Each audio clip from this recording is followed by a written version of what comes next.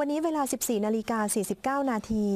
สมเด็จพระนางเจ้าพระบรมราชินีนาถทรงพระกรุณาโปรดเกล้าโปรดกระหม่อม ให้พระเจ้าวรวงเธอพระองค์เจ้าสมสวลี พระวรราชาธินัดดามาศเสด็จแทนพระองค์ไปยังหอประชุมโรงเรียนธรรมจารินีวิทยา อำเภอปากท่อจังหวัดราชบุรี ทรงเปิดการประชุมใหญ่คณะแม่ชีไทย ประจำปี 2555 ซึ่งมูลนิธิ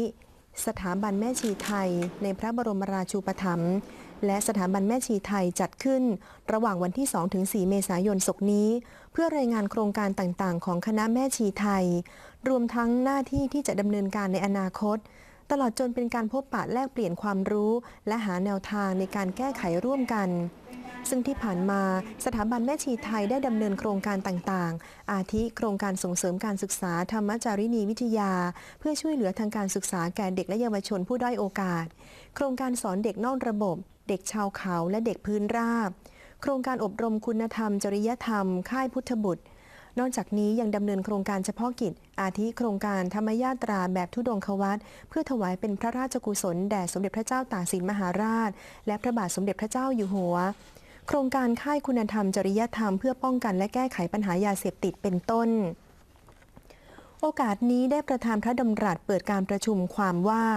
การนำหลักธรรมคำสอนในพระพุทธศาสนาที่มีอยู่หลายระดับ ไม่ว่าจะเป็นระดับศีล ระดับสมาธิ หรือระดับปัญญา มาประพฤติปฏิบัติให้เหมาะสมกับแต่ละบุคคล ก็จะเป็นปัจจัยสำคัญช่วยส่องสว่างให้เกิดสติปัญญา รู้เท่าทัน คลายความทุกข์ลงและเป็นสุขได้ในทุกสถานการณ์ ดังนั้นการที่แม่ชีทุกท่านร่วมดำเนินการเรื่องการศึกษาและอบรมธรรมะในโครงการต่างๆ นั้น จึงควรแก่การอนุโมทนาชื่นชม เพราะจะมีส่วนช่วยส่งเสริมศีลธรรมอันดีให้แก่ประชาชนได้มากในการนี้ทรงเป็นประธานทอดผ้าป่าสามัคคี ซึ่งผู้มีจิตศรัทธาได้ร่วมกันจัดขึ้น เพื่อนำจตุปัจจัยสมทบทุนการดำเนินงานของมูลนิธิสถาบันแม่ชีไทย พร้อมกันนี้ได้ทอดพระเนตรนิทรรศการและผลิตภัณฑ์งานฝีมือของคณะแม่ชีจากจังหวัดต่างๆ และนักเรียนธรรมจามีอาทิดอกไม้ประดิษฐ์ ผลิตภัณฑ์นิน ผลิตภัณฑ์จากลูกปัด เพื่อนำรายได้สมทบทุนการดำเนินงานของมูลนิธิสถาบันแม่ชีไทย